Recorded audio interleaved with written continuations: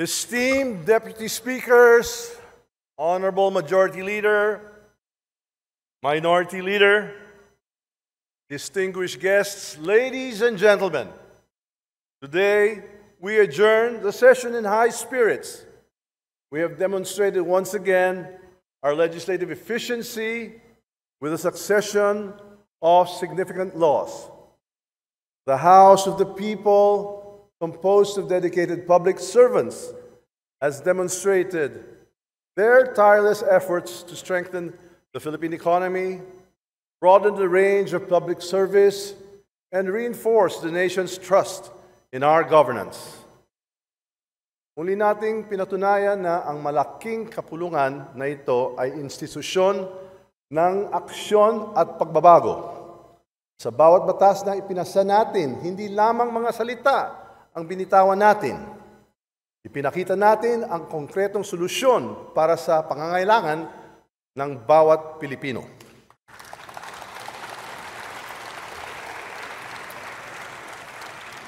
I congratulate you all, not only for your tremendous understanding of the country's development goals and priorities, but most importantly, for translating these goals and priorities to deliver tangible and beneficial changes to our constituents.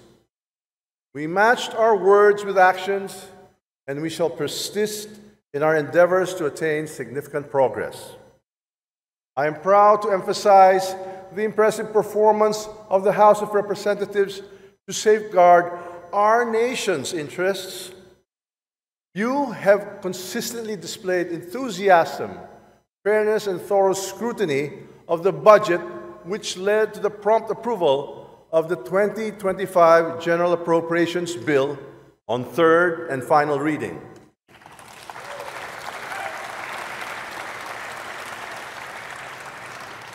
Nagawa natin ang trabaho para busisiin ang 2025 national budget. Natapos natin ito sa takdang oras. Kahit abutin ng umaga, hindi tayo tumigil para masiguro ang nagawa natin ang ating tungkulin.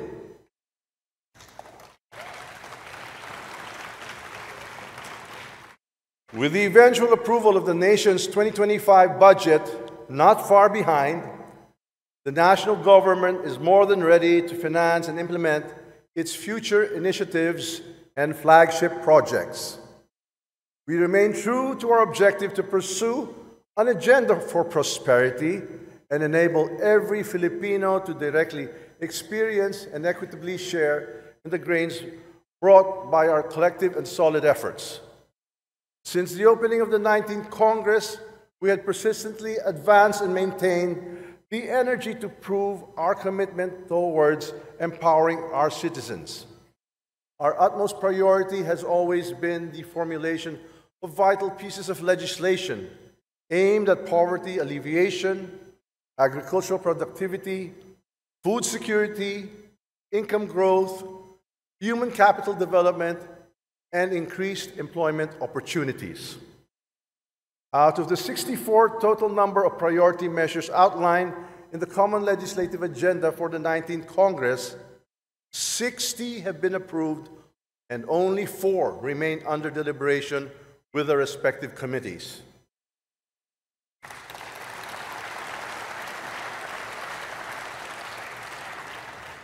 To break down these numbers down, 20 have been signed into laws, including the latest Magna Carta of Filipino seafarers. Four are for the President's consideration, well, actually, for his signature tomorrow, namely the Anti Agriculture Economic Sabotage Act, the Value Added Tax on Digital Transactions, Academic Recovery and Accessible Learning, the ARAL Program Act, and Philippine Self Reliant Defense Posture Program Act. Five have been ratified by the Bicameral Conference Committee, namely the Philippine Maritime Zones Act, the Archipelagic Sea Lanes Act, Create More, Enterprise Based Education, and the Training Program Act, and the Agricultural Tariffication Act, and one is now pending with the Bicameral Conference Committee, namely the Blue Economy Act, and 30 have been approved on third reading.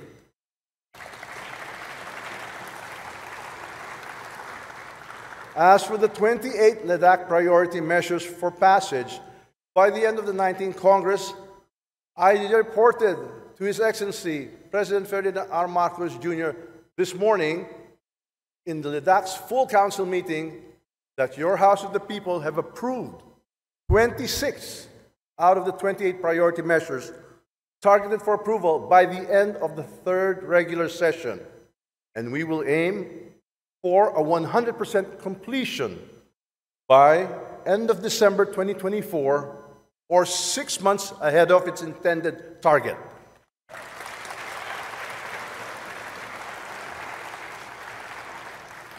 Sa madaling salita, natapos natin ang lahat ng trabaho na napakasunduan kasama ng palasyo ang Senado bago matapos ang taon kasalukuyan. Dahil sa ipinakita ninyong kasipagan at dedikasyon sa trabaho, ipinaabot ko po ang taos pusong pasalamat sa inyong lahat. Maraming salamat. From the 28 LEDAC priority measures, only two remain pending with the committee. Three have been enacted into laws, four have been transmitted to the Office of the President for signature, Five bicameral conference committee reports have been ratified, and the rest have been approved on third reading.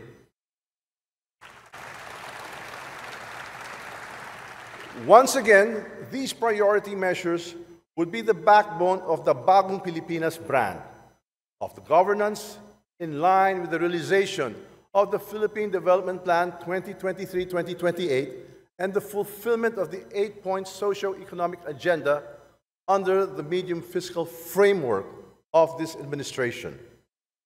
During the first quarter of the third regular session, the House also ushered in the passage of three important legislative measures.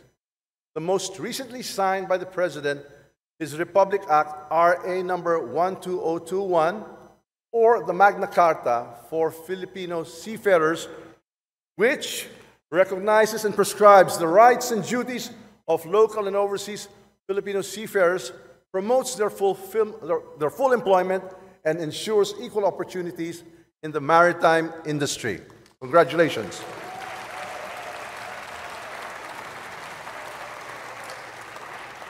Next is RA 12019, or the Loss and Damage Fund Board Act, which vests the Loss and Damage Fund Board the juridical personality to enter into contracts and provides a significant advancement in the prolonged and contentious discourse over financing for loss or damage resulting from climate change. Finally, Republic Act 12018, or the act creating three additional Sharia judicial districts and 12 Sharia circuit courts therein.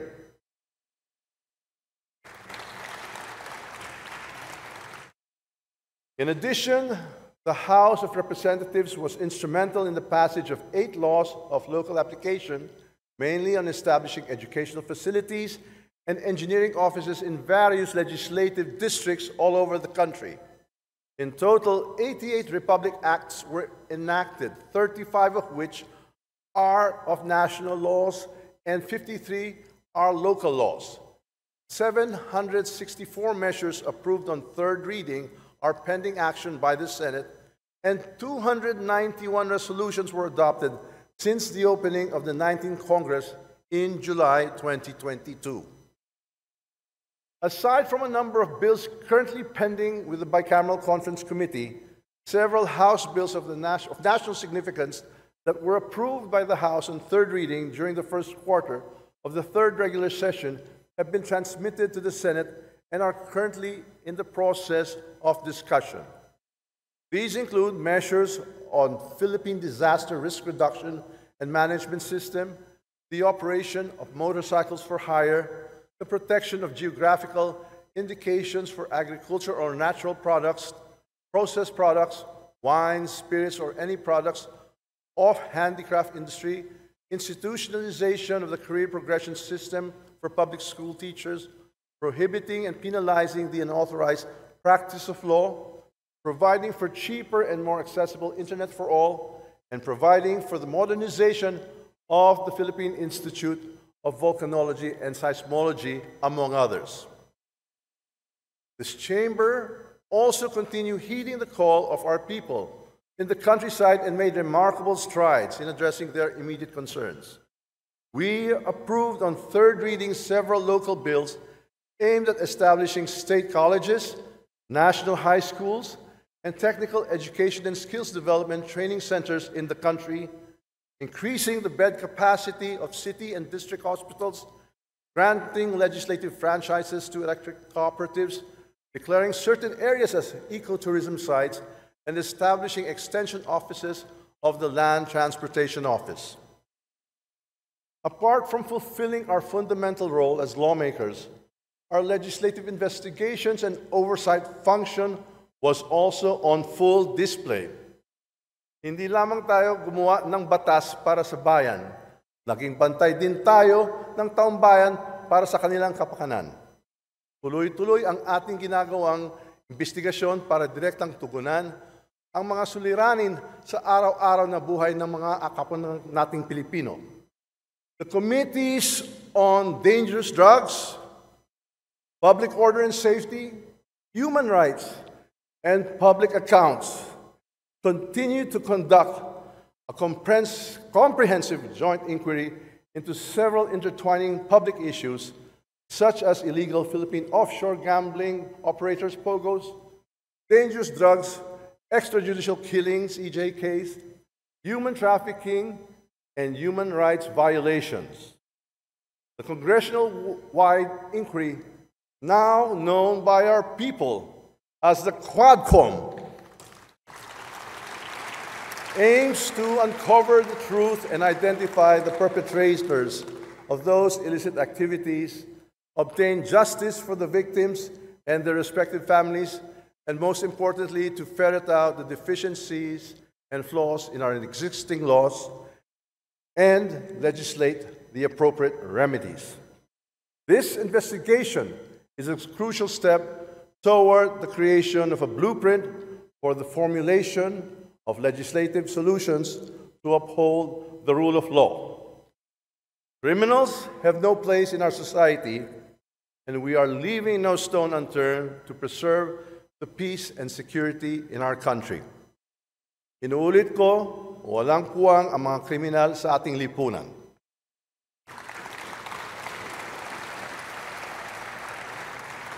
Hindi natin papayagan na maghari ang mga Panginoon at alagad ng kadiliman at kasamaan sa ating bansa.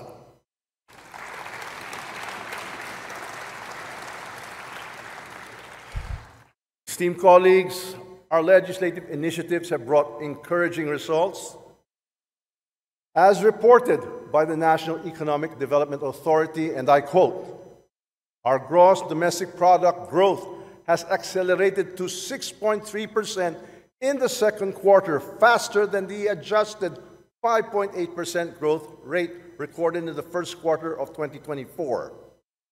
This significant development brings our real GDP growth to 6% for the first half of the year, keeping us on track to achieve our target growth of 6 to 7% for 2024.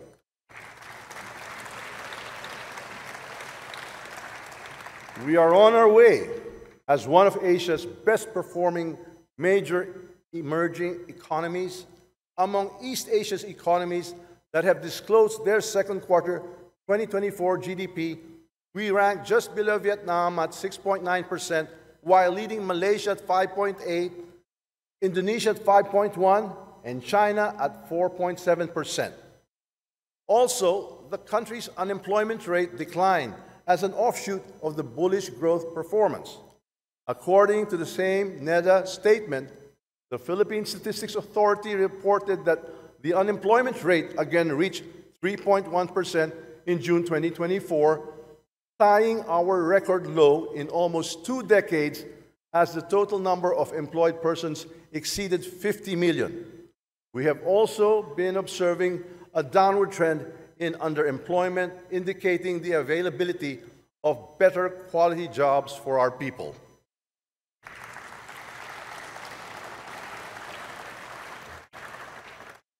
During a recent visit to three leading public markets in Metro Manila, we personally witnessed that the price of rice has declined to as low as 42 pesos per kilo. This is mainly due to the effective measures implemented by President Ferdinand R. Marcos Jr. to lower the prices of rice, establish food supply, and shelter consumers from price fluctuations. One such measure is Executive Order number 62, signed by President Marcos last June 2024, which led to the reduction of the tariff on imported rice from 35% to 15%. With the impending approval of the amendments to the Anti Agricultural Economic Sabotage Act, that is for tomorrow, we expect better and more stringent policies to further reduce the prices of our agricultural products. Ladies and gentlemen, we have justifiable reasons to pride ourselves on. Our table of legislative actions is filled with lofty and overlapping accomplishments. However, it is required of us to maintain all these positive gains, if not surpass them. We must invest more in building infrastructure, promote human and social development, restore our ecosystems, protect the environment, adopt new technologies and innovations, and achieve sustainable development. We could only claim genuine victory over our nation's challenges when every Filipino benefits the outcome of our legislative performance and the impact resonates in their lives. Mahigpit ang paala sa ating ng mahal na Pangulo, Ferdinand Marcos Jr., aanihin natin ang magandang numero sa ekonomiya kung gutom pa ang mga Pilipino. Anin ang, ang panlad kung hindi naman pakikinabangan ng ordinaryong mamamayan. On this note, I implore all of you to further highlight your comprehensive understanding of issues at hand and collaborate with compassion, integrity, and a strong commitment to advance the ideals and aspirations of the Filipino people. Allow me to acknowledge the immense contribution of the members of the minority bloc.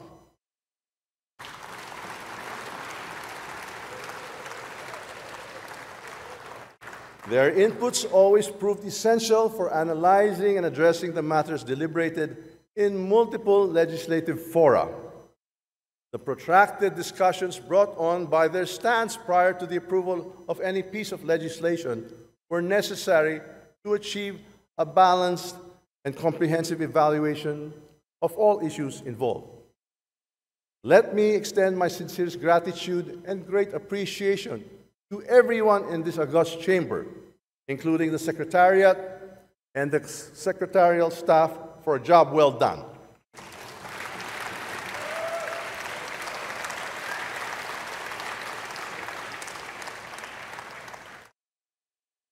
Together, let us continue riding this wave of hard work and rest with the satisfaction that no matter what, we will always succeed. Damo nga salamat, hayo nga tanan, mabuhay ang sabay ng Pilipinas.